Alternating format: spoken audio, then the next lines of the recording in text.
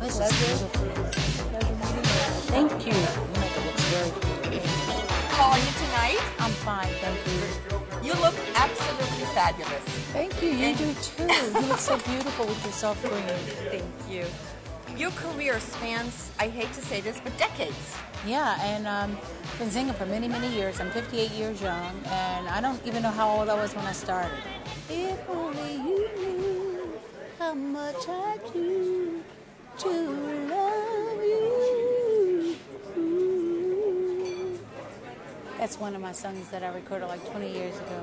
My, my children, my son Zuri, my natural son, he's into show business. He manages rap groups.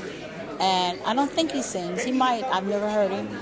And my other kids are, you know, they're very artistic and they, they love music.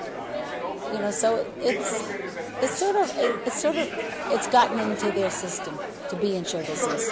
Did you start in church, gospel? Yes, I started in church, in church choir, singing uh, with the choir, but not singing solo until my uh, choir director made me go out in front and sing lead.